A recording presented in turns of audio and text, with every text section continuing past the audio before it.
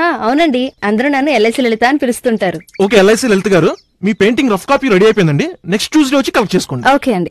అన్నట్టు చెప్పడం మర్చిపోయానండి. ఆ పెయింటింగ్లో నా మెడకి ఒక మంచి కాస్ట్లీ నెక్లెస్ డ్రా చేయండి. ఎలా ఉండాలంటే మినిమం యాభై లక్షల నెక్లెస్ లా కనిపించాలి. అదేంటి? మీ మెడకి నెక్లెస్ లేదు కదా? నా మెడలో లేదు కానీ పెయింటింగ్లో మాత్రం పక్కా ఉండాలి.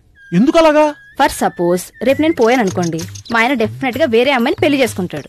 ఆ అమ్మాయి ఇంటికి రాగానే ఈ పెయింటింగ్లో ఉన్న నెక్లెస్ చూసి ఎక్కడా అని అడుగుతుంది. మా ఆయన ఎలాగో అంత ఖరీదైన కొనలేడు.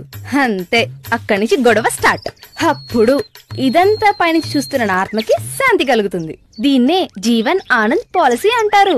జిందగీకే సాత్ బి జిందగీకే బాద్ బి